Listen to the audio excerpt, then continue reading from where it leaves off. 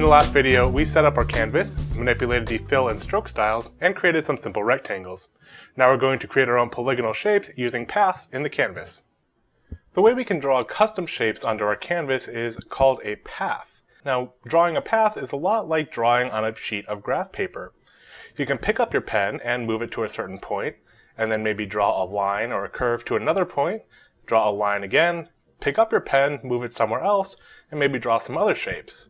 There's always the idea of where your current position is on the paper, and you can either move to another point by drawing a line or a curve, or you can pick it up and not draw anything and place it on a new point. But every time you create a line, it's always from the last point your pen was on the canvas. So I've set up our canvas code, and it looks a lot like the boilerplate code from our first video. And so what I'm going to do is I'm going to go ahead and set a stroke style and a fill style like we did last time. Now to begin a path, we call a method on the context object called beginPath. And what this does is it allows us to begin plotting points on our path. And then when we decide we want to go back and fill or stroke it, it'll only fill and stroke the path all the way back to the most recent begin path call. So if we wanted to create different paths, we would have multiple begin path calls. Now generally our pen starts out on the origin of 0, 0, but if we wanted to draw our shape in the middle of our canvas, we would want to pick up and move our pen to the point we want to start our shape. So we call the move to method on our context. And this takes an x and a y value that are in pixels. So we haven't created any path, we've just indicated where we'd like to start our path. Now just like the move to method, the line to method will go from the previous point, in our case 300 and 200, and move to a new point, here being 400 and 200. So we'll be moving to the right. Now this does create a path, but it doesn't create any pixels on the screen it's creating a path in memory that later we'll be able to either fill or stroke. So we can make another line to call, this time moving down the canvas. And if we wanted to make a triangle, we can make another line to, to 300, 200, which you'll remember is where our shape started. So this would create a triangle. So now we've created a path by calling begin path and multiple line to and move to calls. So if we were to save it out and view it in our browser, we would see nothing. Now just because we've created a path doesn't mean we'll see anything on our screen. We have to either stroke or fill it. Now as you might have guessed, there is a context.stroke method. And this will take the most recent path and it'll apply a stroke to it. And it'll be based on the stroke style here. And let's go ahead and save it out. And if we refresh, we can now see that we've created a triangle. So you can see we picked up our pen, moved to this point, drew a line to this point, drew a line to this point, and drew a line to this point. Now, if we wanted to create a closed shape, this actual line here, we don't have to do a line to. We can instead use a special method called closePath.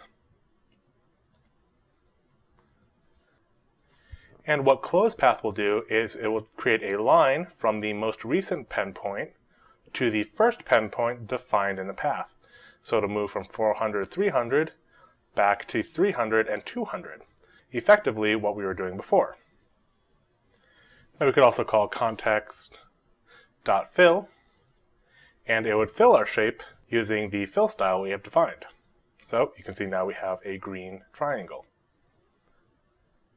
So it's a little bit difficult to see the stroke and the fill at the same time. So what I'm going to do is now define another property on our context called the line width. And this sets the width of our stroke. I'm going to make it 10. So if we refresh, we see our stroke is a little more pronounced. Now what happens if you try to fill a path that hasn't been closed? Well, I'm going to comment out our stroke real quick, and I'm also going to comment out our closing path. So now we should just have two line segments, and let's see what goes on. Well, it looks like we have a full shape. Now let's add our stroke back on to see what's really happening. So indeed, there really is only a line from here to here, but when we fill a path, it fills in the space as though it had been closed. So the fill looks the same, but you can see that there's actually not a stroke from this point to this point. Now our shapes can have more than just a few different lines to them. They can actually have any number of lines attached to them. And you can even fill shapes that intersect over themselves. So let's take a look at this piece of code. And what we're doing is we're setting the fill style to red, and we're beginning a path. And then we're just going to create a bunch of different random points inside of our canvas and create a line to them from one to the other. So we should get a fairly random jagged shape. Then we're going to close the path and we're going to fill and stroke the shape. So let's see what this looks like. When We refresh. We can see that we have a shape here and you can see it intersects over itself. So you have different points here that are filled in or filled in here. And we can refresh and we can see how the different interactions when it crosses over itself will create a fill that is contained properly. So far, everything we've seen in the canvas has been straight lines and corners. In the next video, we'll look at the different ways that we can create curves using the canvas.